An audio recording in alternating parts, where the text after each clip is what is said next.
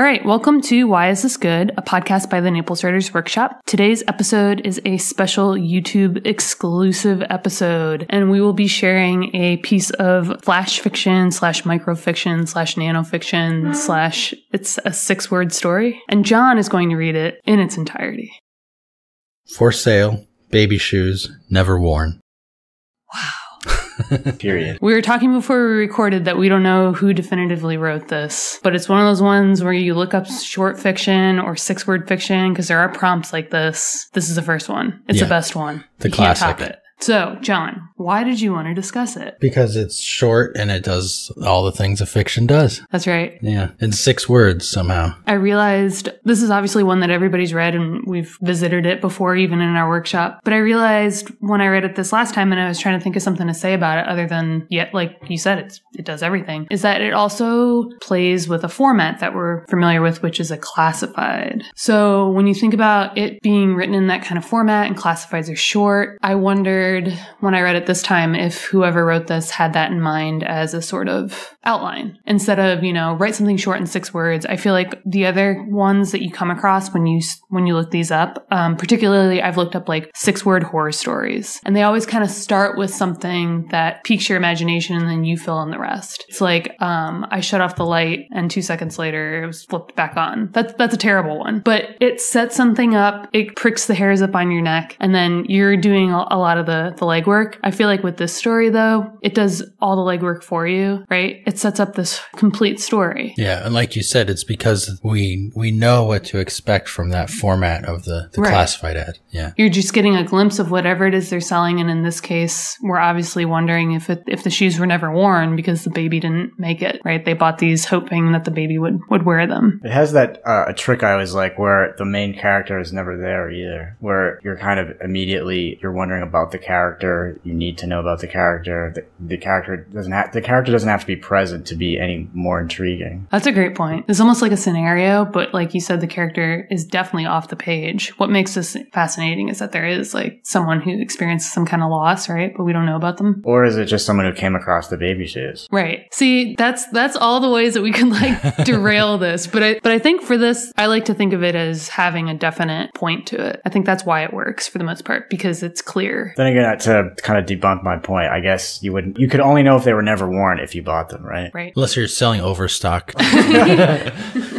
These are Air Jordans and uh in baby size. this idea uh, of suggesting a character from with uh, language, the, that knowledge, like we you mentioned, like who would know that they were never worn. Yeah. The, this is what makes us fill in the blanks. Is all those all the complications that words evoke in our minds. You know, like to wear something is to deliberately put it on, and that requires deliberation, and that requires someone to to know whether or not someone deliberated about it. You know, et cetera, et cetera. For sale is the same thing. Like to sell something has all kinds of mental apparatus wrapped around it too. So you get to a picture of a character just from these um, words that aren't specifically about a character because they entangle conscious mental processes somebody making deliberate decisions. I think that's something that um, we can do in, in long fiction too and in larger scale. I think if this was written today, it would be a Facebook marketplace post and there would be some rambling explanation to go along with it and there'd be a photo too. That would be- It'd it'd be, be a totally different ballgame. You you would have someone explaining why and insisting on the fact that these were never worn, right? And like shoes with pictures from all angles. So when I read this though, I'm like, I still can't get out of my mind that everyone says that Hemingway wrote it. So I'm thinking like this is an old story and I'm thinking it was definitely in a newspaper and I'm thinking of all the connotations of that, like who our age places that classifieds at these days, right? So I'm also taken back to like a time and a place, I feel like. Yeah. Maybe one of the lessons for people who write fiction is just to make your sentences count. And that's probably, this is a great example because it's so short. You can have a short sentence and really have like a punch to it. And you can, I mean, obviously the, the short, the microfiction, tell a story as quickly as you can, but you can do that within a larger story too. I think some of my, I don't know if they're my favorite writers, but writers that I like kind of seem to be inherently storyteller from sentence to sentence. And it doesn't necessarily derail their story. They just kind of have like this stories come coming out of stories and out, out of stories and they just sort of breed one another. So I think if you can think that if you're putting together your, your typical 10 page short story, maybe try to think less about A to B, but like think more about A, A, A, and just try to stay within the sentence and then just let it build from that. And I think you can get way, you can really pack a lot in, in there and make it really dense. This is what we talked about with for the Alice Munro story was uh, um, how all the details could be thought of as micro stories, right? That's right. Yeah. And in the same way, if, if you if you make each of your details a piece of flash fiction or microfiction, you get that fractal feeling for your fiction. Yeah, that's a cool way to look at it. I think that's, but that's the the point though, is that to make these stories build sentence after sentence, they really have to be packed full of details. Yeah. I'm writing a novel right now, right? I'll never finish it, but I'm writing it and I am so bored.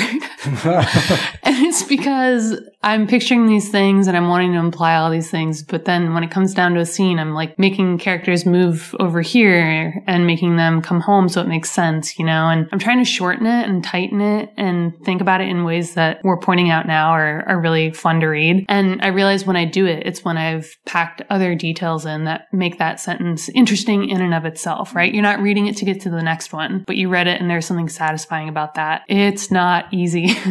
No. it's so hard. I wrote an essay like 10 years ago about, I realized um, writing computer code, writing software for me was much, much easier than writing fiction. I was like, Yeah. why, why is it so much easier? And I was just The thinking formula. about that. Yeah. Computer code, it all builds on each itself the way that fiction does. Like everything's tied to each other. You have to write functions that feed into other parts of the code. But the thing about if you write a function that works, you don't have to think about why it works or how it works anymore. You just use it as a function that does the thing you want it to do. Whereas fiction, you have to be constantly conscious of all the ways everything's interconnected as you write every little word, or you, you can be. And I think that's what makes it difficult. And then the revision process is just like filling that in and making it all play together like an orchestra. So yeah, I, I hear you.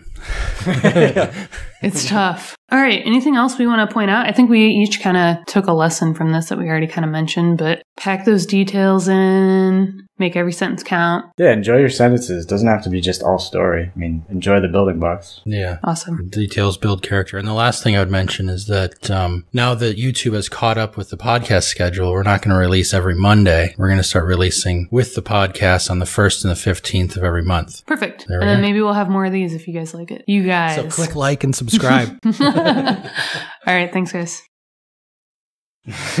You're one of them now. yeah. But I said it as a joke, right? Yeah.